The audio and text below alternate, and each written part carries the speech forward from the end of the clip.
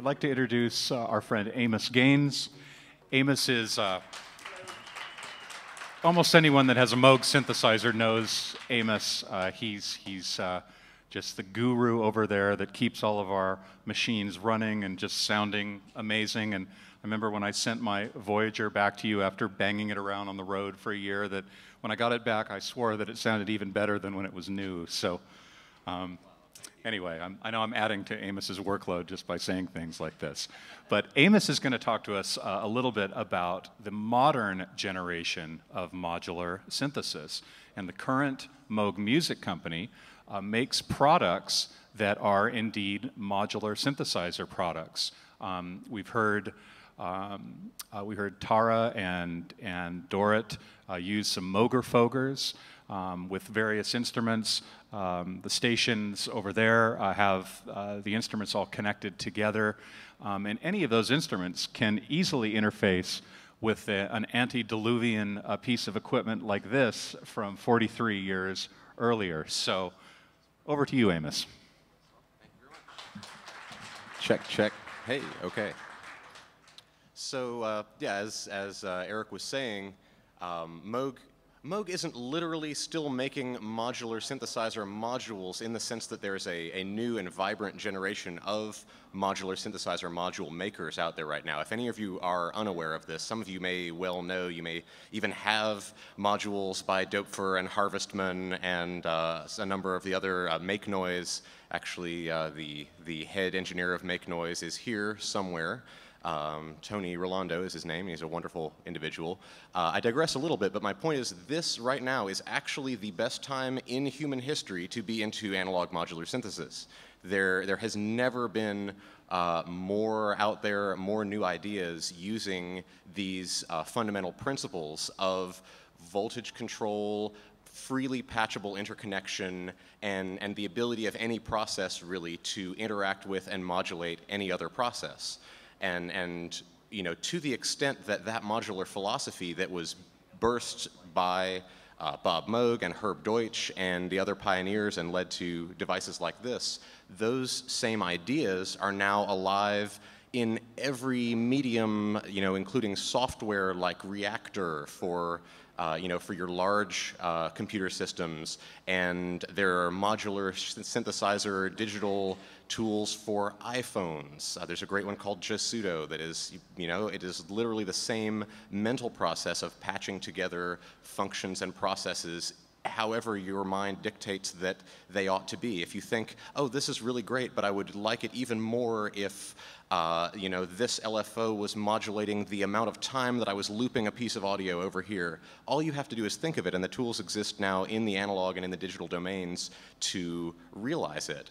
And so that method of workflow transcends volt per octave standards, it transcends analog hardware. It's just sort of a mode of manipulating sonic concepts, and you can, you can do that in any medium. And so that's what we are living in today. We, uh, you know, and so leaving the digital aside for the moment and getting uh, back to Moog, um, what we what we are making now is individual instruments and effects that all um, most of the important functions and processes not only have knobs to control what they do, uh, you know, which you'll get on a, on a digital instrument. There are digital synths that are covered in hundreds of knobs, and they all do really cool stuff when you turn them. But you don't, with those digital instruments, typically have an output or an input that lets you take that abstract process and feed it into the next thing, you know, across the room, some other interesting gadget that you want to tie into one cohesive whole. Um, and we support that now and in, in what we're doing still. Um, so I guess one of the things that I wanted to talk about uh, relative to this being a ubiquitous concept that uh, it's never been more alive than it is right now is that where I feel like Moog can do some of their best work now and going forward is in exactly the place where these wonderful new abstract digital processes that you have become real and become voltages and interact with the, uh, the the analog oscillators and the, as August was saying, these continuous functions that happen in, you know, infinite resolution in, in time and in voltage. You know, you've got functions of voltage over time. You can represent them digitally by some number, uh, you know, and, uh, and some amount of time, but inherently you have a certain resolution below which you can't count anymore. There's a fundamental increment that you're counting in units of digitally, you know, and if you have a, you know, a, million bit long number, uh, it's still at the very end, you have to increment it by some fixed quantum that you can identify. It's yay big, however big that is.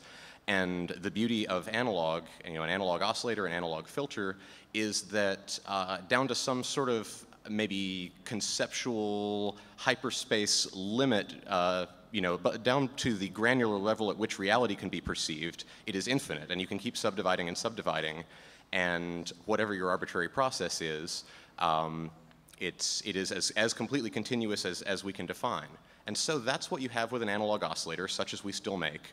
But now you have this wonderful ability to take that analog oscillator and these analog filters, and digital control has become good enough that you can come up with an arbitrary process like you might do in Reaktor or like you might do in some fantastic computer program and output that as a voltage that's directly linked to the analog oscillator. And that gives you, you know, and filter and envelopes and so on. And that gives you the ability to make instruments such as we're making now. Uh, the Little Phatty, the Taurus, the Taurus 3, which is a new Moog product from last year.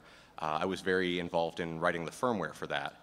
And so, so that's the perspective that I'm coming from, is that the, the other Moog engineers are much more talented in the analog domain, and they've created these beautiful oscillators and beautiful sounding filters. And then they give me these tools, and they give me this arbitrary processor, this embedded processor that runs code. And what that means is that I can use that processor to think of some behavior that I want to have happen. The user presses a button, what happens? It's completely arbitrary. It's, you can just magically define it in code and create a process like, let's say, an arpeggiator that plays a series of notes in time with, um, you know, in time with some clock, in time with your laptop, perhaps. You're playing Ableton Live, you hook it up via USB to this, this magical device here that has an arbitrary processor and continuous analog, warm-sounding tone generators and just by just by writing some code and just by defining any process that you can think of that's supported, you can then get that beautiful pure tone in being controlled in ways that were that were never possible in the 100% analog domain. In, a, in the 100% analog domain, if you want to make a sequencer, you have to have, let's say, 64 knobs and a bank of analog switches, and all of this plumbing and hardware and all of this stuff costs money. And how you know if you've ever actually tried to build a sequencer and thought, well, one knob's not that expensive, and then you look at 64 of them and you're you know you're out a couple hundred bucks, and all you've got is a pile of knobs. You don't even start to have a sequencer you know, and these are the limitations that were uh, in place from the invention of these ideas up until very recently. And now, if a knob is six lines of code that exists somewhere, then they're basically free. You can have as many knobs as you have memory in which to hold the code that defines what a knob does.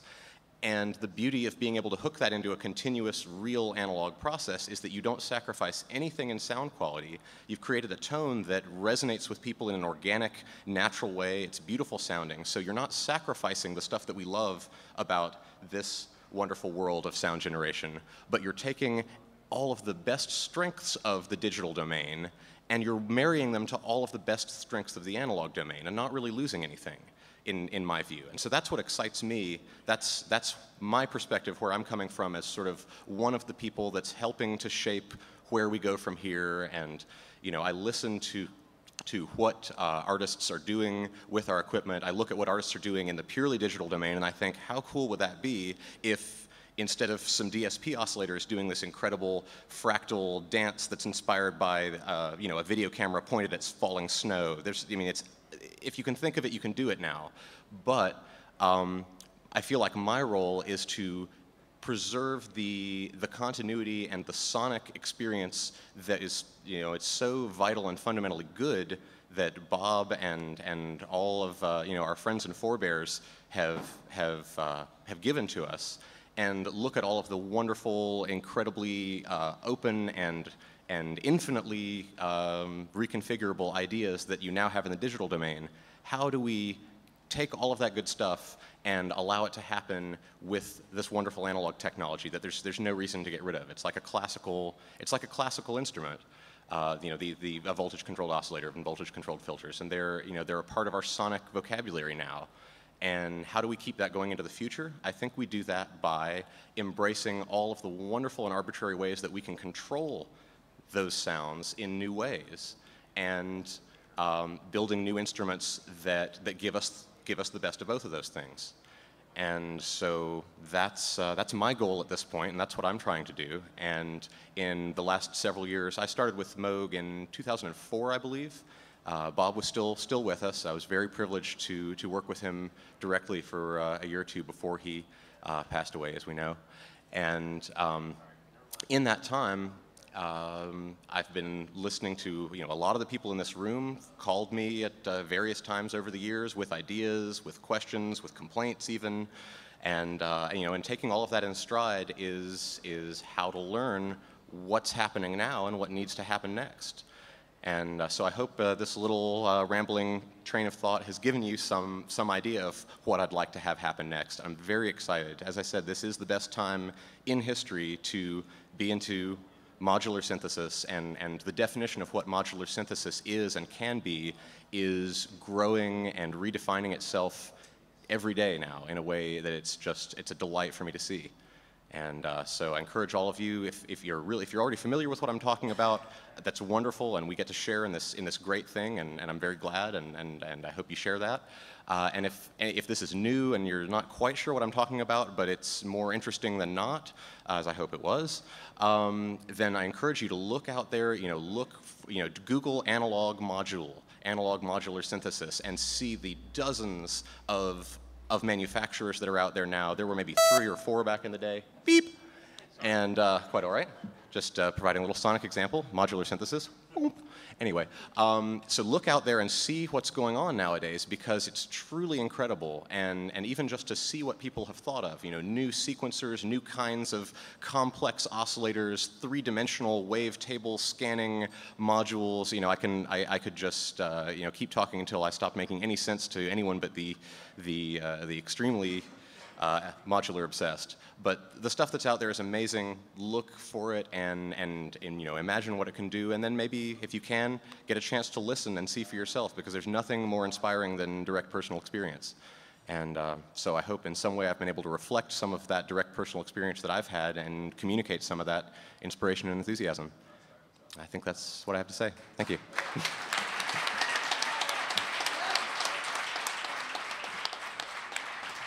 Amos Gaynes. Jack Skellington. Um, we're going to wrap it up here. in.